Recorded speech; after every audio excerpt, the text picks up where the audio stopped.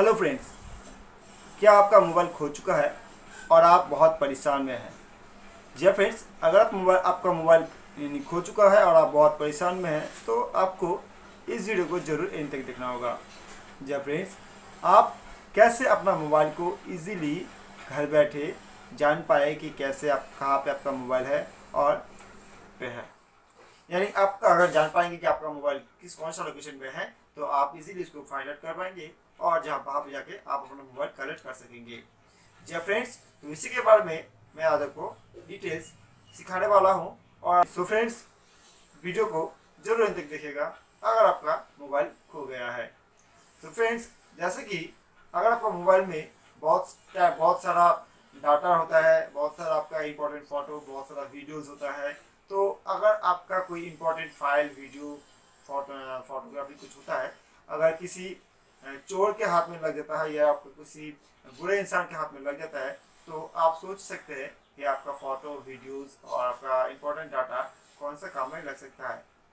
वो तो शायद आपको भी पता नहीं और मुझे भी पता नहीं।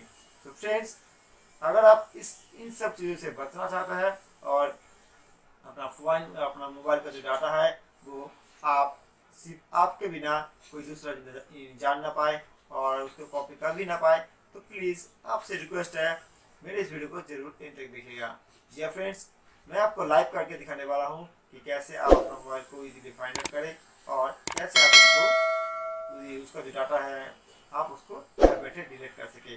जी फ्रेंड्स चलिए, मैं हूँ राकेश और आप देख रहे हैं मेरे चैनल टेक्नोलॉजी ज्ञान यानी आप सभी को मेरे इस चैनल में हार्दिक स्वागत है। तो चलिए वीडियो को शुरू करते हैं। सो फ्रेंड्स देखिए, मैं आ चुका हूँ मेरे कंप्यूटर स्क्रीन पर और मैं आपको लाइव दिखाने वाला हूँ कि कैसे आप अपना मोबाइल को इजीली फाइंड आउट कर पाएँ। अगर आपका मोबाइल चोरी हो जाता है तो। तो इसके लिए सबसे पहले आपको अपना कंप्यूटर्स या किसी भी ब्राउज़र कंप्यूटर का किसी ब्राउज़र में चले जाएँगे। देखिए, मेरा जो ब्राउज़र ओपनिंग है, ठीक है। इसमें आने के बाद इसमें आपको गूगल में सर्च करना है। My find my device sorry find my device देखिए इस तरह से फाइंड माई डिवाइस लिख के आप इसमें सर्च करेंगे, ठीक है? करने के बाद आपको सामने एक वेबसाइट इंटरफेस खुल कर आ जाएगा। देखिए सबसे पहले और एक महत्वपूर्ण बात जो है, आप, जी यानी आपका मोबाइल हैंडसेट जो चोरी हो चुका है या आपका खो चुका है तो आपका जो उस मोबाइल में जो ईमेल आईडी लॉगिंग किया हुआ है, आपको उसी ईमेल आईडी से आपको जो कंप्यूटर्स है उस कंप्यूटर्स में लॉगिंग हो जाना है। जब आप लॉगिंग हो जाएँगे तो आपके सामने जब आप लॉगिंग होने के बाद आप फाइंड माई डिवाइस जब आप सर्च कर लेंगे, इसमें इस तरह से खोल लेंगे।